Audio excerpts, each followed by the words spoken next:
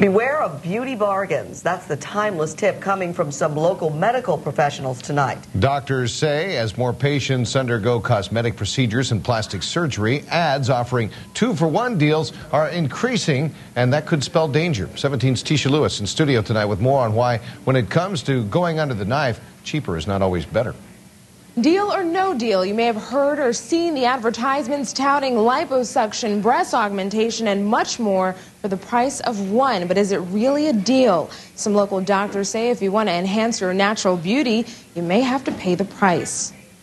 Just $2,900 for a breast enlargement. Commercials advertising cosmetic procedures and plastic surgery are taking over the airwaves. Pay only $2,900 for a breast enlargement, $2,900 for any three areas of liposuction, or just $3,900 for a tummy tuck. And that includes everything. We tried calling the company placing this ad, but there was no answer, not even a recording.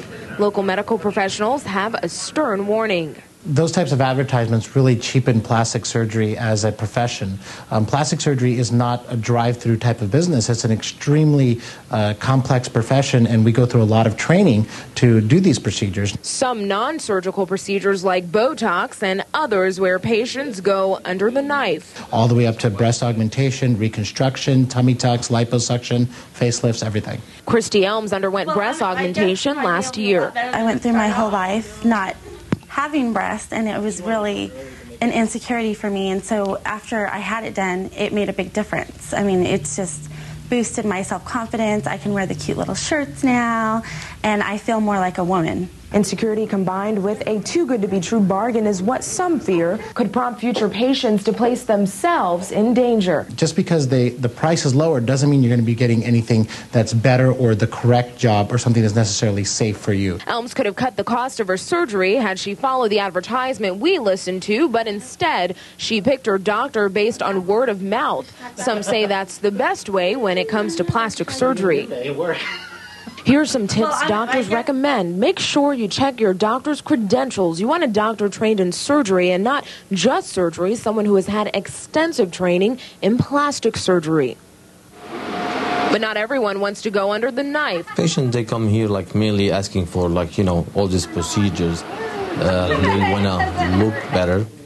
And, you know, since we have uh, tons of advancement in the medicine recently, patients, they want to look good and they want to feel good. There's a whole world of cosmetic, non surgical procedures. Botox was roughly right around $500. I think it's like $10 a unit and sort of depends on how much the doctor gives you. Botox is a 10 minute process where tiny injections are made to have a large effect, helping eradicate wrinkles. I've done it only once and I've done it for a month, but I will continue to do it. The procedure doesn't involve splicing and dicing, but when it comes to choosing a doctor, it's just as important. Unfortunately, there is still a lot of like medical spa that they get this procedure done without a direct physician supervising. Um, it's not really recommended. Doctors say the bottom line is when it comes to your body, there's no deal or bargain. I usually, you know, tell people don't choose your surgeon based on price. You might have to pay a pretty penny, but in the end, you could avoid damages that could last a lifetime. Some local doctors say many of the two for one deals you may hear about are coming from offices based outside of Kern County. We can't even get through to a person when dialing the number on the radio we found.